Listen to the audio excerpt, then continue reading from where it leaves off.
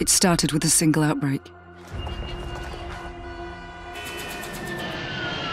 We don't know how. We don't know why.